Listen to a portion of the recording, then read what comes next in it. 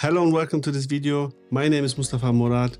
I'm a cinematographer and photographer based in Germany and today I want to talk with you about a tool that I use to create color accuracy and match different cameras on set if needed. The tool that I use for that is the Spyder Checkr Video from Datacolor and Final Cut Pro. Let's first talk about why it is important to have accurate colors and match different cameras. When you shoot for example a product shot like a shoe commercial, then you have to get the colors 100% like the manufacturer of the shoe intended to be. Color matching different cameras on the other side is important because every camera has different color signs. That means every camera sensor sees colors different. Speaking of seeing colors different, our eyes sees colors different too and every display that you look at is showing colors in a different way.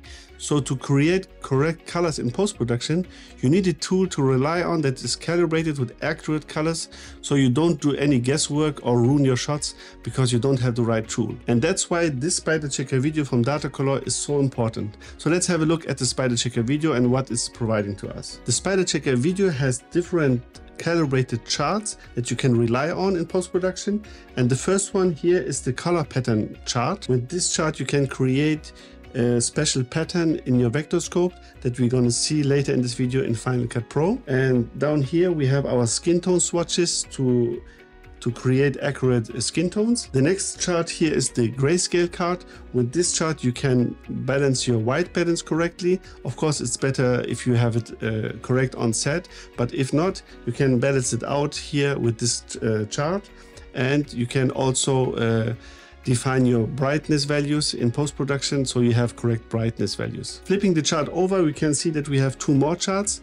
The first one here is our gray card. With this, we can balance an image out again, the white balance. And the second one is our focus star. With this, you can judge the focus and make sure that the focus is where it needed to be. If you are a hybrid shooter like me and you want correct colors in video and photo, you can combine the Spyder Checkr photo and the Spyder Checkr video into one checker.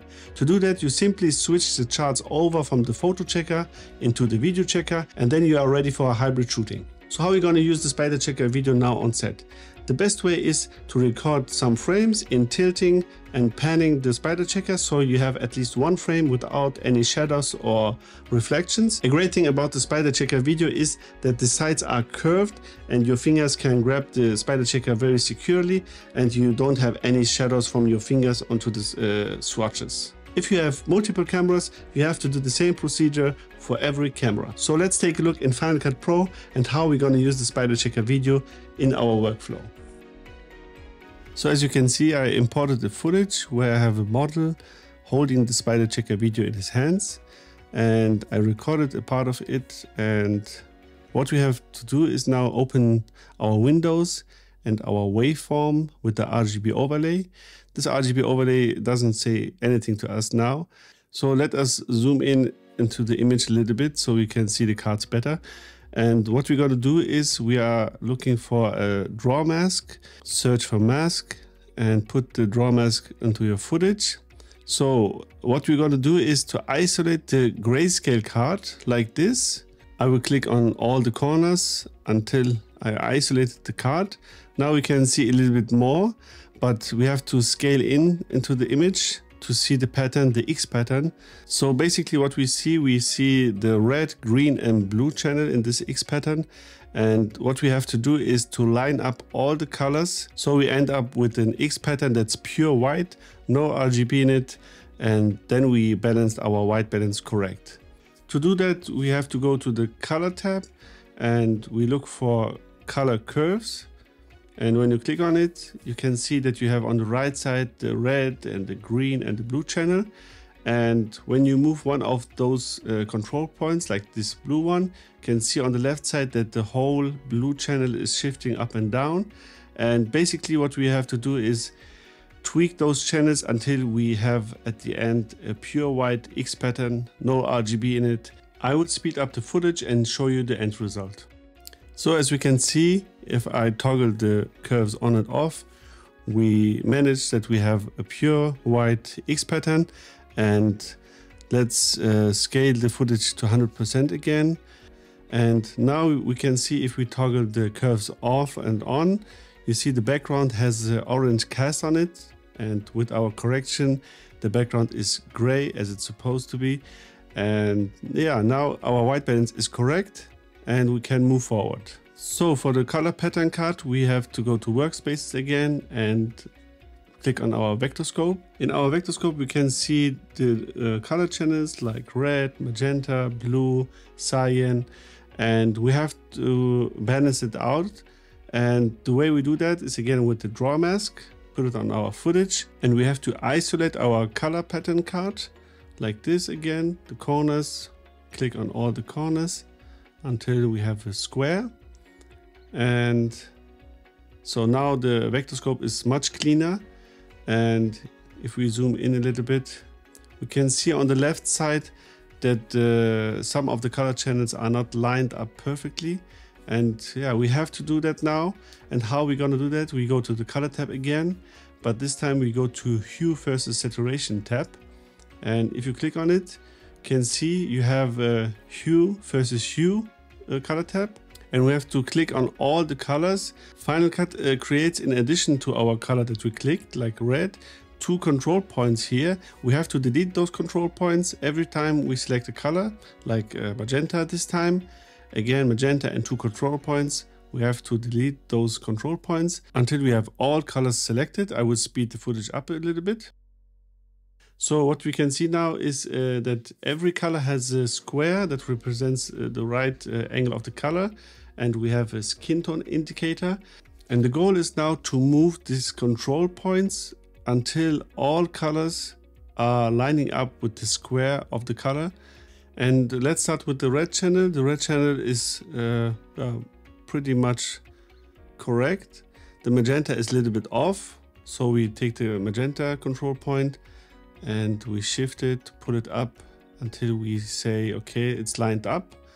And the same we're gonna do for all the color channels, color points. And you can see the blue one is a little bit off and cyan is also a little bit off.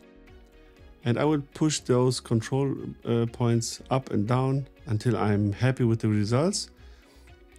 Green is a little bit off too. And the same thing, we're gonna push it up until it's lined up with the square. And yeah yellow is pretty much lined up. So this is the first step. The next step is we have to come close to the to those squares uh, that represents the color. And to do that we have to go to the hue versus saturation uh, tab. And again we have to select all our colors. I will speed up the footage a little bit and when we have all our colors selected we can tweak the saturation in pulling up the control points. The red channel was already on point. I have to pull up the magenta, uh, the saturation a little bit more. And I will do the same thing for all the colors so that I have the saturation, the end of the, the pattern into the uh, squares of the, of the colors. So you can see if I pull it up, this is my blue channel and now I can see that the blue is a little bit off. The angle is not right. So I go to the hue versus hue and I will correct the angle. So next color is cyan. And as you can see in moving up the hue versus saturation tab, we can correct our image, the saturation of our image. And the last tab is our yellow tab. And now the pattern is finished. The last thing that we have to do is we have to line up these lines with the skin tone indicator. To do that, we go to the hue versus hue tab and select our skin tones. And you can see we have another control point. And in moving up, you can see the lines is now almost perfect on the skin tone indicator. And that's it. Now you have correct colors and the right amount of uh, saturation. If I toggle the mask off and scale the image down again, we can see now, let's get, let's get rid of the vector scope here. And if I toggle our tweaks on and off, you can see now the image is much more saturated and correct saturated. Uh, this is the most important. Now the colors are much more vibrant and the skin color of the model is correct on point as it was on set and also the jacket, the shirt, all is now correct as it was on set. That's why the Spyder Checkr video is so important to reproduce your colors that you had on set and this will make you and your clients happy. I hope you liked this demonstration of the Spyder Checkr video and that you learned something from it and we see us in the next video. Until then, keep creating.